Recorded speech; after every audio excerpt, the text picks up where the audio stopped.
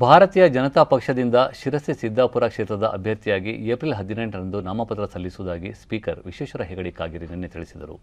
ಉತ್ತರ ಕನ್ನಡ ಜಿಲ್ಲೆಯ ಶಿರಸಿಯಲ್ಲಿ ಸುದ್ದಿಗೋಷ್ಠಿಯಲ್ಲಿ ಅವರು, ಕ್ಷೇತ್ರದ ಅಭಿವೃದ್ಧಿಗೆ ಬದ್ಧವಾಗಿದ್ದು, ಈ ಬಾರಿಯ ವಿಧಾನಸಭೆ ಚುನಾವಣೆಯಲ್ಲಿಯೂ ಕ್ಷೇತ್ರದ ಜನತೆ ಬೆಂಬಲ ದೊರಕಿ ಗೆಲುವು ಸಾಧಿಸಲಿದ್ದೇನೆ ಎಂದು ವಿಶ್ವಾಸ ವ್ಯಕ್ತಪಡಿಸಿದರು.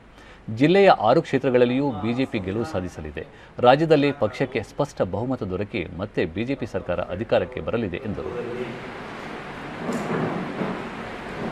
ನಾಳೆ ಅವರ ಜನ್ಮದಿನ ಇದೆ. ಜನ್ಮದಿನದ ಹಾರ್ದಿಕ ಶುಭಾಶಯವನ್ನು ನಾನು ಸಂದರ್ಭದಲ್ಲಿ ಸಲ್ಲಿಸ್ತೇನೆ.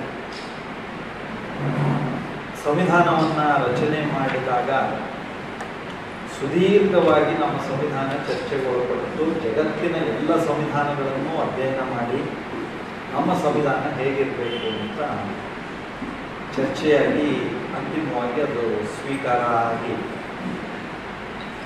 ನಾವು ಅದರ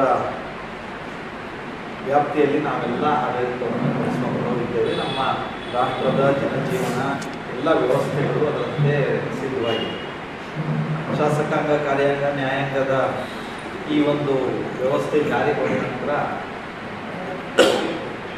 ನಮ್ಮದು ಚುನಾವಣೆಗಳು ಆಗಿದೆ ಕರ್ನಾಟಕದಲ್ಲಿ.